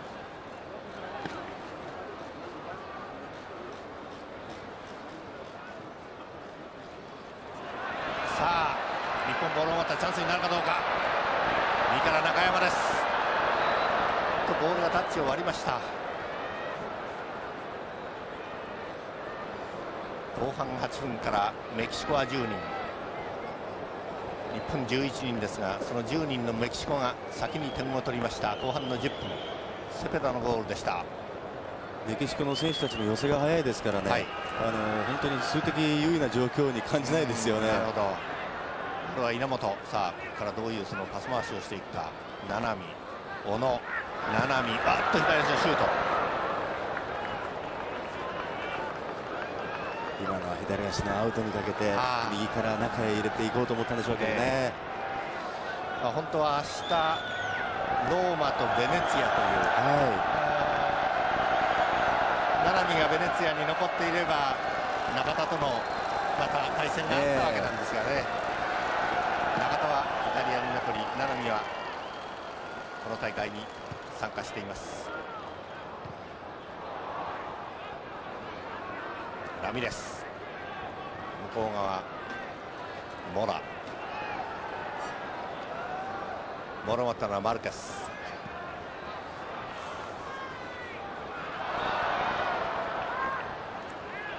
メキシコのファールです不思議なものなんですけれども、はい、メキシコの方は完全に下がってしまうということをやってませんよね、えー、本当は数的不利ですから、下がろうという気になるんですけれども、メキシコの選手たちがよくサッカーをしているなと思うのは、逆にボールへ行くことで、その数的不利な状況を生ま生まないということをね、それぞれの選手がやってますよね。どんどん早く寄せてきますよ。本当ですね、はい、それも1人ではなく2人来るケースもあります。小野がなかなか前を向けませんでした。右にボールを回して稲本。もう一度小野最前線は今後半から入ったオソルノが1人残っているだけメキシコ。平瀬。左から上がってきた16番の中田。かわしてクロスまで行きません。おっと。ここで七海にボールを渡した、足の間を抜こうとしたんでしょうがダメです。伊藤のタックル。かわしていった。セペラ。今度は七海のタックルかわしていった。あっと笛はありません。な笛はあったんでしょうか。なかったと思いますね、ね。さあ恐るのからさあフリーだ全くフリーだ。あっとボラがシュートまで行きませんでした。今のは、えー、稲本のカバーで助かりましたよ、えー、今フリーでしたよね、えー、メキシコの攻勢が続きます。10人のメキシコの攻勢。おっとゴール前にボールが飛んできました。楢崎キャッチです七海。小野。前線中山手を挙げていますがボールは右に渡って伊藤。その右に望月です。今度は左サイドで平瀬が手を挙げている。その平瀬へボールが渡ってきます。ヘッドで落とした。小野の前をボールが通過してしまいました。ラミレスの長いクリア。先ほど危ないシーンありましたよね、えー、日本、えー、あの時もスローインを早くメキシコがやったわけですよね、はい、その時の集中の差というのは、メキシコの方が断然上なわけですよね。切り替えの速さとともにちょっと日本チームで気になるところですね。確かにそうですね。中田小野。そして平瀬が行きますがここはマルケス今日はマルケスはほとんどミスらしいミスがないんじゃないでしょうかね。岩佐さん、はい、日本奥が呼ばれています。あそうですか。日本は奥が呼ばれています。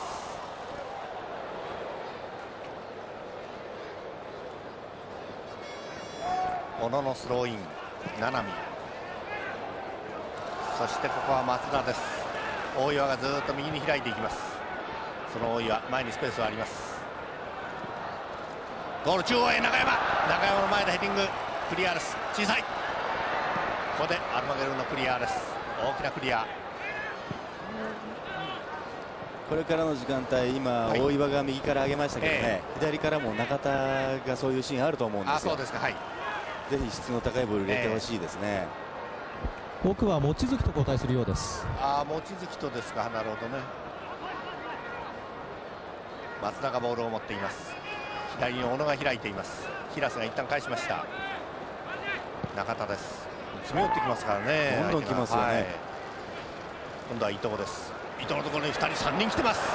ボールを奪われました。さあ恐るならこの人もあの代表歴は浅いんですがいずれもあの試合の途中から出てきて簡単にゴールを取ってるんですね。あの数あのスコアだけ見ますとね。そうですね、えー、チームのリズムを変えることができるでしょうし、はい、決定的な仕事できるんでしょうね、えー、多分そうなんでしょう。波です。実はあの前半で下がった5番のトルド、はい、それから今残っているマルケス、はい、それから後半から入った11番のオソルノと、えー、この3人があの世界ユースの時アルゼンチン戦でゴールを取ったメンバーなんですよね。なるほど。こういう人たちの活躍でアルゼンチンに勝った後日本に負けたわけですよね、えー、それがまあですから彼らにしてみれば悔しいわけですよ、えー、今日その気持ちは入ってますよ、えー、そうですね。カルボナカルボナがずっと行きます。後ろから小野のチェックでした。稲本。そしてもう一度小野。横に望月がいます。ということは望月のプレー時間は残り少なくなってきています。日本もう一人で沢登呼ばれています。あそうですか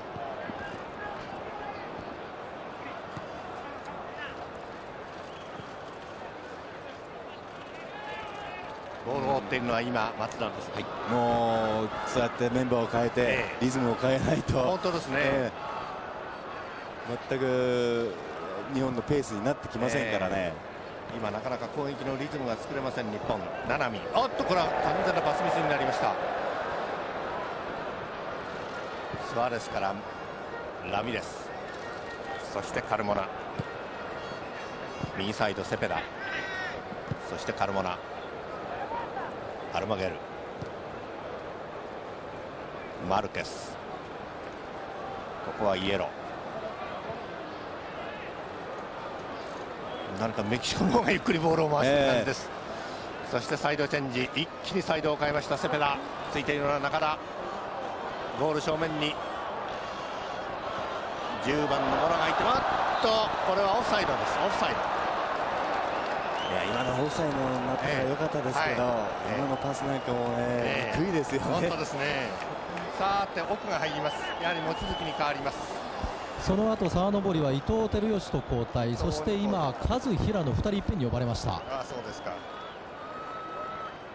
まあ、ぜひね、あのトルシェ監督が、はい、えー、求めた5人交代というのをうまく生かしてほしいですけどね。えー、ねはい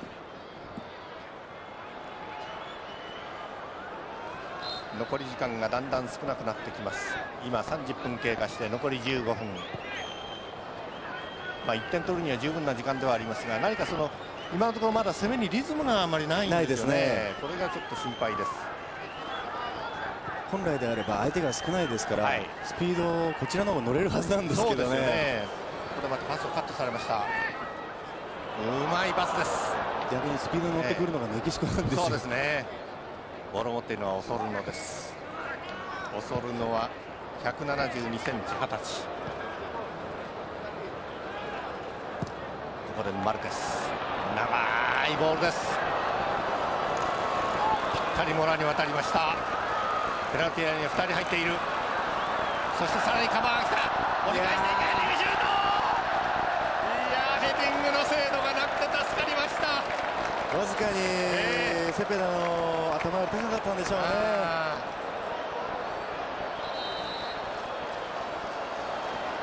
いや今あのメキシコのゴール前でペレスがペナルティーエの外で天を仰いでましたよ、えー、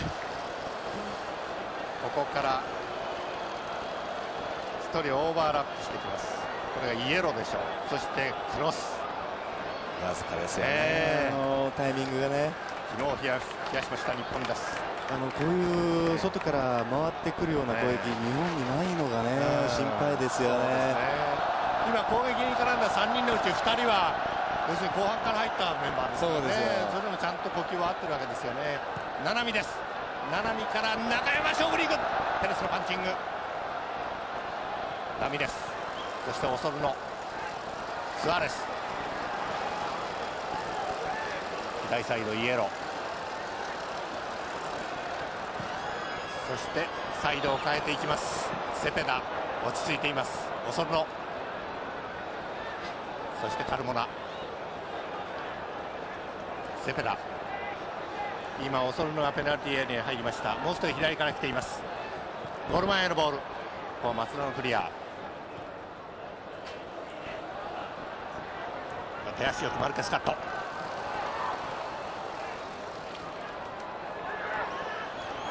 さあ右サイド奥が上がってますよ、ね、奥が上がっていく。奥が上がっていく。手を上げながら上がっていく。上がっていく。そしてタッチの外ではカズと平野ですね。カズと平野が準備をしています。それぞれ平瀬と中山と交代です。平瀬と中山に代わってだ平野がトップに入るわけですね。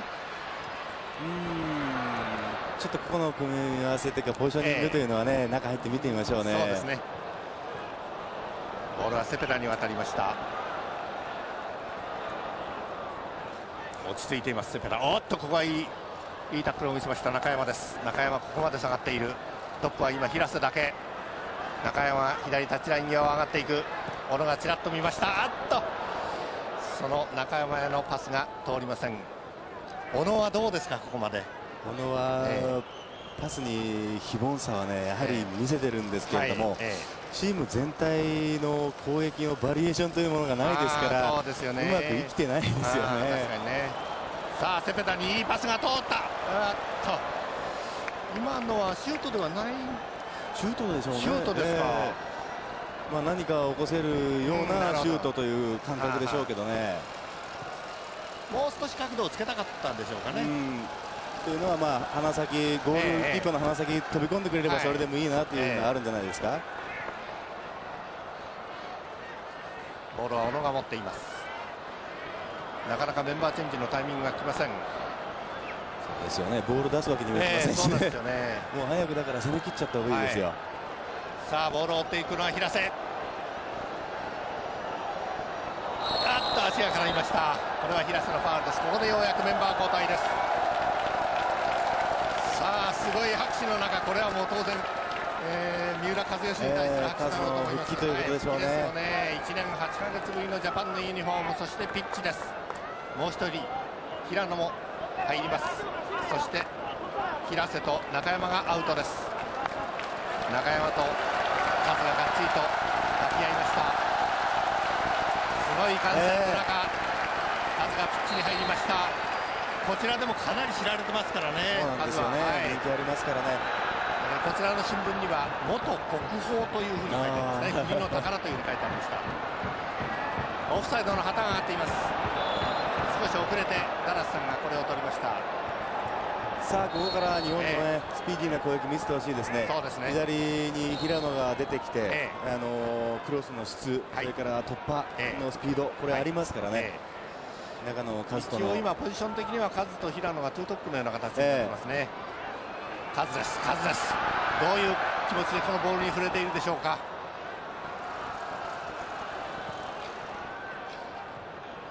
ヘッドで落とした大岩。そして稲本。七海稲本。沢登沢登の左足。あっとヘッドで後ろそらした。シュートあっと。アルマゲに当たりました。ゴール前に数も詰めていましたまだたった1回ですけどもなんか攻めの形みたいなものは、うん、これは選手を変えたことで、はい、ベンチの意図というのもね、伝えてるわけですから、ね。はい、さあ小野です。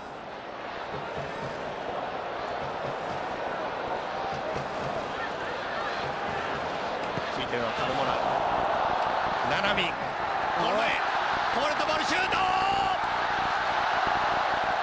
あ最後はスアレススアレスのクリアです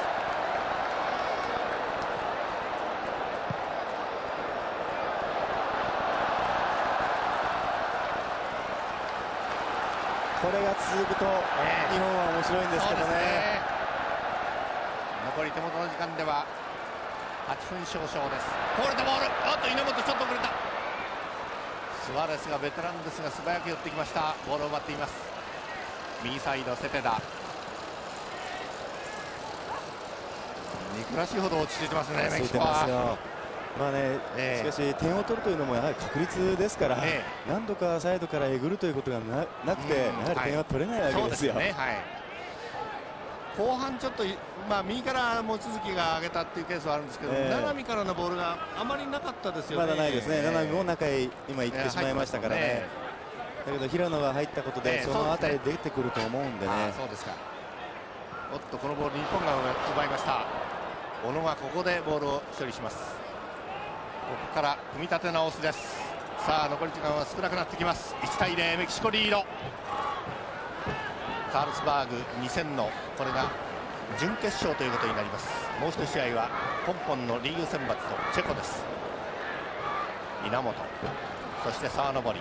向こうが大岩が上がる上がる構えをちょっと見せました。し入れ替わって。さあ平野だ。をコントロールしきれませんでした。右も奥が入ったことで面白くなりましたね、ね積極的に上がる姿勢を見せています。奥長いボールを入れました。日本ボールです。平野がどんどんと中へ入っていってるんですけれども、ええ。はいどうでしょうね。左彼使わせてがいいと思うんですよ、そうですね。うんちょっと大岩がこっちへ寄ってこいというようなジェスチャーを見せました。ボールは中田です。中田浩二。そしてもう一度大岩です。奥が前にいます。そして縦にボールが出て三浦知良ですがついているのは4番のまたマルケスです、マルケスのゾーンは仕事させてもらえないですよ、本当ですよね。おっとこれはメキシコボールでした。オソルの2人がかりのマーク。日本ボールを奪えません。ラミレスベテラン。ああ2人がかり3人がかりのマークでボールを奪いました。さあカズ。そしてこれはメキシコボールです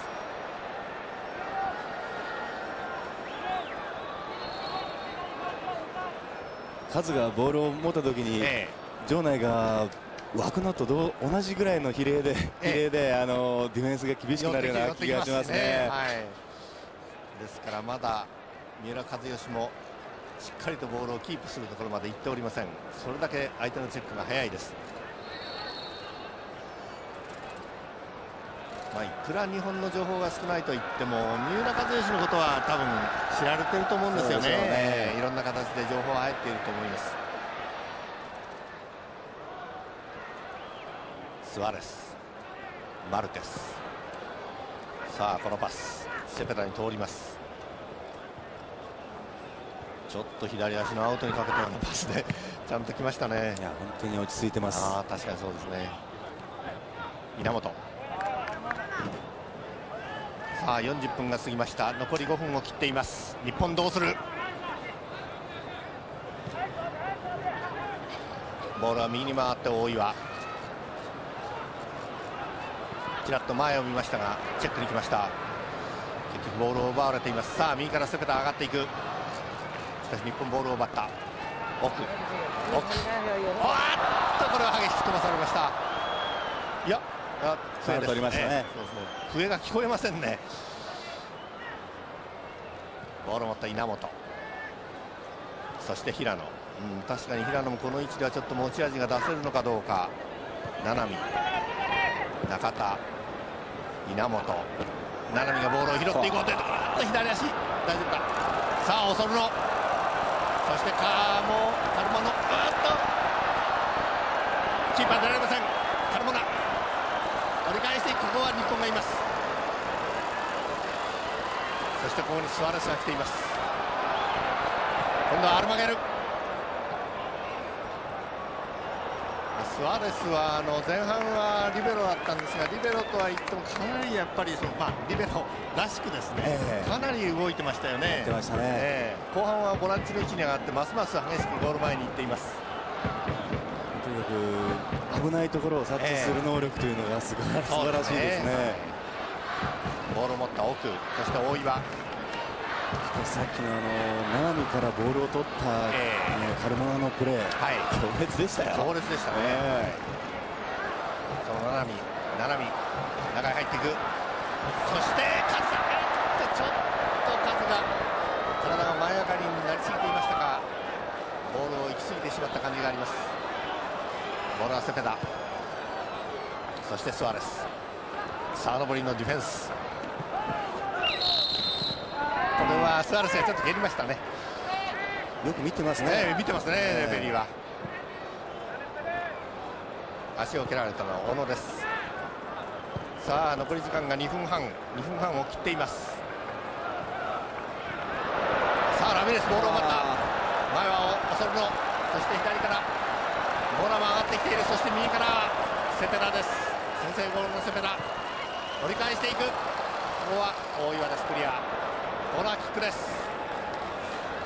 後半もほとんどロスタイムはないんではないでしょうか、えー、一応用意はしてますね。3という数字が見えてますけどこれがロスタイムの、ねえー、数字になるんでしょうか。ちょっと気がかりなところです。1対0メキシコ。1点リードベンチのね、ポルシェ監督が今言ってるかどうか気になるんですけど、はい、これは今の状態で静かだったらちょっと気になるんですよね。確かにね。背中が見えていますがあまり動きはないように見えます。一番大事な時間帯ですからね。そうですよね。あっと数が。相手の手が顔面に入りました。稲本が懸命に、えー、肘を使ったんではないかというようなアピールをしてますがダラス氏は私が見ていたというふうに並べています。ボールは奥が持ちました。この後日本はどうもベンチは動きがないようです。あのこういう状況になってメキシコの速攻というのは怖いですけれども、はい。ね、もっとね大岩、それから中田、この辺りが前へのドリブルで行ってもいいんですよ。はい、もうこの局面来たら残り1分切ってるわけですからね、はい、えー、もう同点にする以外にやることはないはずなんですが日本にちょっと動きがありません。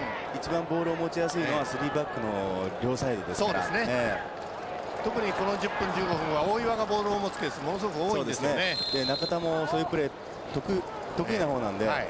やればいいんですけどね。今度は日本がファールを取られました。残り30秒を切っています。どうもロスタイムの表示がありません。あっとここはキーパーと大岩が絡みましたが大丈夫です。あやはり残り時間3分のようです。今予備審判が3という数字の入ったボードを持ちました。さあ恐るのだキーパーが出ていく。恐るの恐るの。ゴール前ちょんと出しました。ここに選手がいませんでした。これも助かりましたね、助かりましたごい歓声の中日本ボールを持った七海。七海からカズ右に奥がいます。さあカズが行く。カズから奥。折り返せるか。詰めてきます。なかなか仕事ができません。さあ登り懸命に手を挙げてアピールしていますがボールは最終ラインへ。これではちょっと攻撃の形ができません。松田も前の選手の動きを要求しています。小野。そして沢登そして三浦。ヘディングの構えに入りました。ボールがきません。多くのシュート。精度はありませんでした。何か選手一人一人がボールは要求しているんですがそのボールは来ない。何か一人一人がまあ、バラバラというと言い過ぎになりますが、えー、あの思い切りの良さというか、はい、決断するポイントがそれぞれにちょっとずれてるなという気がしますよね、えー、小野が気にしていたその攻めの意識づけというそれの統一っていうのはないですね、えー、見てると。見てるとその辺は気がかりな部分ですね、ね、ボールは稲本が持ちました。さあ大歓声の中日本攻勢に入る。三浦三浦三浦っと倒された逆ですね。三浦がファウルを取られました三浦が相手を引きずり倒したというふうなダラスのジェスチャーが見えます。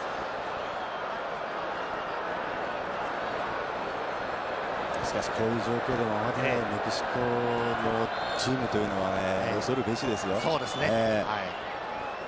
だけどやっぱり打点に世界のトップ10に入っているチームじゃないですよね、ね、若手中心でこういうことやってくるわけですからね、はいそしてその監督の自信というのはやっぱり裏付けあってのものだったというのはこれで分かりますよね、そうですね。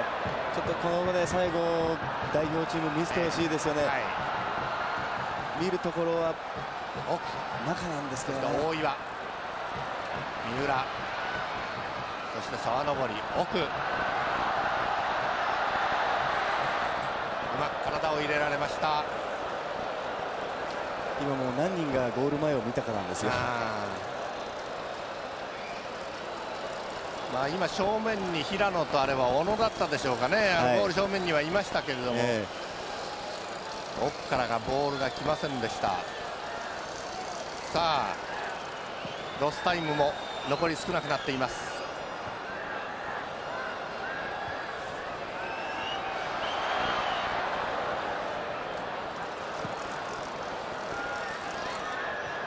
ヘディングの大岩ここで試合終了。1対0メキシコ日本を下しました決勝進出です。ディフェンディングチャンピオン決勝に駒を進めました。そのゴールを挙げたセペダです。19番。これはその場面ですね。折り返してくる詰めてきたセペダのゴール、まあ、前半始まって間もない頃から、はい、まああもっと言えば昨日の練習から、新藤さんはセペだということをそうなんですよ、これは日本チームもゲームが始まってすぐにそれは感じたはずなんですけれども、全体としてそこの守りはできなかったように思いますね、特に後半10番のモラもその意識を持って入ってきた時に混乱してましたね。さてまず、はい、日本の敗因ということからお話をいただきましょうか。あのー、サッカーというゲームは、はい、ディフェンスを鍛えれば、えゲーム全体がうまくいくとか、はい、攻撃だけをやってれば、えうまくあのレベルアップしていくというような競技ではないということは、ね、ここではまず見えた問題だと思うんですよね。でバランスよくどこも重点的にやるものはあっても、はい、全体的にバランスよくチームのスタイル作りをしていかなければ、こういうゲームで、えー、内容が見えてこないというの